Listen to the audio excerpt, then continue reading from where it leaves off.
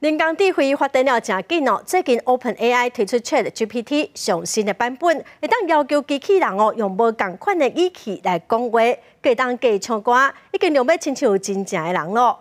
也毋过有一个声，互发现讲甲好莱坞演员史嘉蕾·乔汉森是真相像，因为有人抗议哦，这声嘛已经移读咯。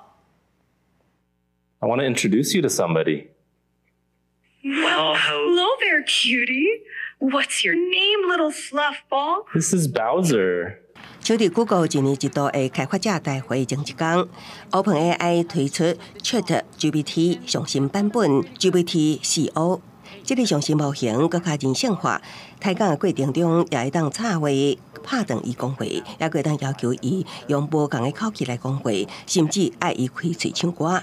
New audio capabilities let users speak to ChatGPT and obtain real life responses with no delay. They can also interrupt ChatGPT while it is speaking. Both of these new capabilities are hallmarks of realistic conversations that AI voice assistants have found challenging up until now. Okay, so ChatGPT, this is what I ended up with. How does this look? It looks perfect. You've solved it, and x equals 1. Nicely done. How do you feel about solving linear equations now? OpenAI 执行长阿特曼也表示，毋望会当像电影《分段精灵》来，认为甲好莱坞演员斯嘉丽·乔汉森扮演的 AI 自然的讲话，滚生笑。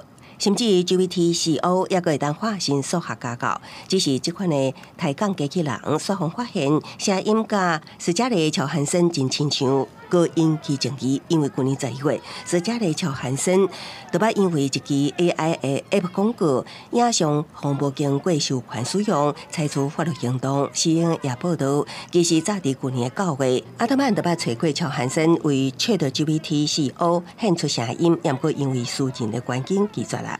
OpenAI 回应，相关声音是请另外一位专业录音员录的，并不是来自斯嘉丽·乔汉森，也表示会删除这款声音。OpenAI 也指出，这项服务未来几礼拜都会提供付费用户优先使用。公司新闻，邓慧仁编译。